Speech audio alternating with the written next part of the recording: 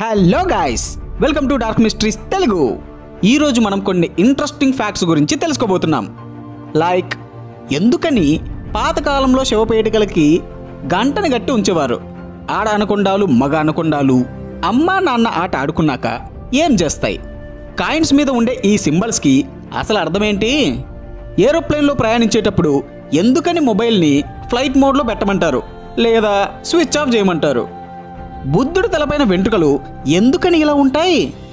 ఇలాంటి కొన్ని interesting facts గురించి ఈరోజు మనం తెలుసుకోబోతున్నాం. కానీ దానికంటే ముందు ఇలాంటి వీడియోస్ మీకు నోటిఫికేషన్గా రావాలి అంటే మన ఛానల్ని సబ్స్క్రైబ్ చేసుకొని పక్కన ఉన్న బెల్ ఐకాన్ని గట్టి కొట్టండి. ఇంకెందుకు ఆలస్యం? Let start our intro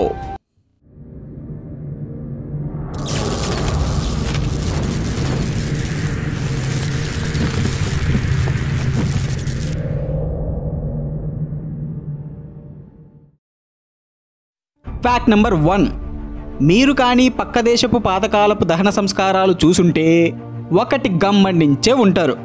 అదేంటంటే చనిపోయిన వాళ్ళని ఒక శవపేటికలో పెట్టి పూడ్చిపెట్టేవాళ్ళు. కాకపోతే ఇక్కడ ట్విస్ట్ ఏంటంటే ఆ శవపేటికకి లోపల ఒక తాడుతో లోపలున్న శవం చేతులను కట్టేసి ఆ తాడుని భూమిపైన ఉన్న గంటకి అంటగట్టేవాళ్ళు. ఇలా ఎందుకు చేస్తారో తెలుసా? అప్పట్లో చనిపోకుండానే పూర్తి చేస్తారేమో అనే భయం ఎక్కువగా ఉండేది. ఇంకా క్లియర్గా చెప్పాలంటే ఒకవేళ వాళ్ళు చనిపోకుండానే పూర్తి చేస్తేనో లేక అన్కాన్షియస్గా ఉన్నప్పుడు పూర్తి చేస్తేనో ఆ కాఫిన్లో ఉన్న మనిషి తిరిగి చెప్పలేరుగా సో చనిపోయిన మనిషి చేతికి ఆ గంటకి ఒక తాడుని కట్టేస్తే దాని ద్వారా ఆ మనిషి ఒకవేళ చనిపోకపోయినా కాన్షియస్లోకి వచ్చినా దాన్ని గట్టి గట్టిగా కొట్టి సిగ్నల్ ఇచ్చి మళ్ళీ కాఫిన్ని తవ్వి తిరిగి లేపేయచ్చు కాబట్టి శవానికి ఆ తాడు కట్టి సమాధికి గంట కట్టేవారు. గంట అంటే గుర్తొచ్చింది. ఒకవేళ ఇంకా సబ్స్క్రైబ్ చేసుకోకుంటే చేసుకుని మన గంటను కూడా కొంచెం గట్టిగానే కొట్టండి. Fact number two. అనకొండ ఈ పేరు వినగానే ఒక పెద్ద పాము మన మైండ్లో చక్కర్లు కొడుతూ ఉంటుంది. ట్రాపికల్ సౌత్ అమెరికాలో ఎక్కువగా కనబడే ఈ పాములు చాలా పెద్దగా ఉంటాయి. మనకి ఇంతవరకు మాత్రమే తెలుసు. కానీ దీని గురించి ఒక మంచి ఫ్యాక్ట్ ఉంది. అదేంటంటే ఆడ అనకొండాలు మగ అనకొండాలు అమ్మా నాన్న ఆట ఆడుకున్నాక అంటే మేట్ అయిన తర్వాత ఆడ అనకొండ మగ అనకొండాన్ని సంపి తినేస్తుంది. ఇలా ఎందుకు చేస్తుందంటే ఇది ప్రెగ్నెంట్ అయ్యి గుడ్లు పెట్టి పొదగాలంటే సుమారు ఏడు నెలలు పడుతుంది. అంతవరకు ఎక్కడికి కదలకుండా ఉండాలి కాబట్టి మగపాముని బలి చేసి బోన్ చేసి హ్యాపీగా ఏడు నెలలు గడిపేస్తుంది. ఎలాగో ఆడ వర్సెస్ మగ టాపిక్ వచ్చింది కాబట్టి ఫ్యాక్ట్లో ఫ్యాక్ట్గా చెప్తున్నా మనని గుట్టే దోమలు కూడా కేవలం ఆడవే బాసు. ఫ్యాక్ట్ నెంబర్ త్రీ మీరు ఎప్పుడైనా బొమ్మ బొరుసు ఆడారా? అలా కానీ ఆడున్నా లేదా కాయిన్స్ని క్లియర్గా చూసున్నా మీకు కాయిన్ కింద ఎప్పుడు తయారు చేశారు అని ఇయర్ మెన్షన్ చేసి ఉంటారు. ఇందులో పెద్దగా తెలుసుకోవాల్సిందేమీ లేదు. కానీ ఆ ఇయర్ కింద ఒక చిన్న సింబల్ని ప్రింట్ చేసి ఉంటారు. అది ఎప్పుడైనా గమనించారా? కొన్ని కాయిన్స్ మీద డైమండ్ సింబలు కొన్ని కాయిన్స్ మీద స్టార్ సింబలు ఇంకొన్నింటి మీద డాట్ సింబలు. అసలు ఇంకొన్నింటి మీద అయితే అసలు ఏ సింబల్ లేకుండానే ప్రింట్ చేసి ఉంటారు అసలు ఈ సింబల్స్ ఏటి వీటి గోల్ ఏటి అని ఎప్పుడైనా అనుకున్నారా? దాని వెనుక రీజన్ ఈ రోజు నేను చెప్తాను వినండి. ఆ ఇయర్ కింద ఉండే సింబల్ కాయిన్స్ తయారు చేసిన మింటు యొక్క ప్లేస్ని సూచిస్తుంది. ఎలా అంటే ఒకవేళ కాయిన్ మీద డాట్ సింబల్ ఉందనుకోండి ఆ కాయిన్ నోయిడాలో తయారు చేశారని అర్థం. ఒకవేళ కాయిన్ మీద డైమండ్ సింబల్ ఉందనుకోండి ఆ కాయిన్ ముంబైలో తయారు చేశారని అర్థం.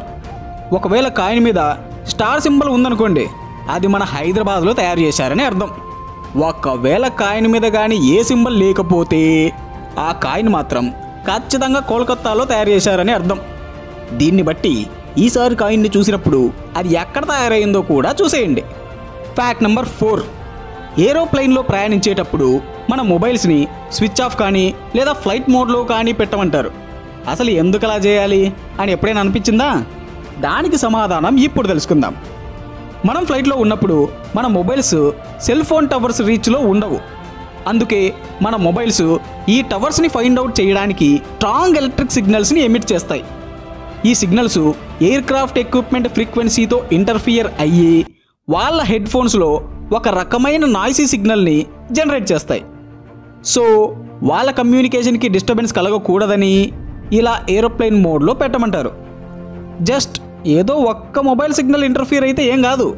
కానీ ఫ్లైట్లో ఉన్న మొబైల్స్ అన్ని ఇంటర్ఫియర్ అయితేనే పెద్ద ప్రాబ్లం. అండ్ ఇంకో రీజన్ కూడా ఉందనుకోండి అదేంటంటే ఒకవేళ ఫ్లైట్కి ఏదన్నా అయితే మన మొబైల్స్ వల్ల డిస్ట్రాక్ట్ అవ్వకుండా more conscious choice తీసుకోగలం. And take off and landing టైంలో మన చుట్టూ ఏం జరుగుతుందో కూడా తెలుసుకోగలం. అంటే మొబైల్ని చూడకుండా ఫుల్ అటెన్షన్తో ఉంటామని. Fact number five. మీరు ఎప్పుడైనా బుద్ధుడి విగ్రహాన్ని క్లియర్గా చూసారా ఒకవేళ చూసుంటే బుద్ధుడి తలపైన ఉన్న జుట్టు రింగు రింగుల్లో ఉంటుంది. గమనించారా? అసలు ఎందుకు అలా ఉందో ఎప్పుడైనా డౌట్ వచ్చిందా? అసలు యాక్చువల్గా చెప్పాలంటే బుద్ధుడి తలపైన మనం చూస్తున్నది జుట్టు కాదు. అవి నూట ఎనిమిది నత్తలు. ఐ మీన్ స్నైల్స్ అవి బుద్ధుడికి మెడిటేషన్ చేసేటప్పుడు హీట్ స్ట్రోక్ తగలకుండా ఉండడానికి బుద్ధుడి తలపై వచ్చి ఉండి తమ లైఫ్ని సాక్రిఫైస్ చేశాయి. Fact number six. ప్రపంచంలో దాదాపు అన్ని ప్రాంతాల్లో చీమలు వ్యాప్తి చెందే ఉన్నాయి. కానీ కొన్ని ప్రాంతాల్లో మాత్రం మీకు ఒక్క చీమ కూడా కనబడదు. ఆ ప్రాంతాలు ఏంటంటే గ్రీన్లాండ్ ఐస్లాండ్ అంటార్కిటికా. అలానే కొన్ని ఐలాండ్ కూడా ఉన్నాయి. Fact number seven. నైట్ అవ్వగానే ప్రశాంతంగా నిద్రపోవాలని ప్రతి ఒక్కరికి ఉంటుంది. కానీ ఒక్క విలన్ మాత్రం దాన్ని అడ్డుకుంటూ మనకు చికాకు తెప్పిస్తూ ఉంటాడు. అవే దోమలు. ఒక్కోసారి ఈ దోమల జాతి అంతమైపోతే చాలా బాగుంటుంది అనిపిస్తుంది కనీసం దోమలు లేని దేశానికి పారిపోయి నిద్రపోవాలని కూడా కరెంటు పోయినప్పుడు ఖచ్చితంగా అనిపిస్తుంది. ఇంతకీ అలాంటి దేశం ఒకటి ఉందంటారా మాస్టారు? అని అడిగితే ఎస్ ఉంది. అదే ఐస్లాండ్. ఇక్కడ భూతద్దం వేసి వెతికినా మనకు ఒక్కదోమ కనపడదు.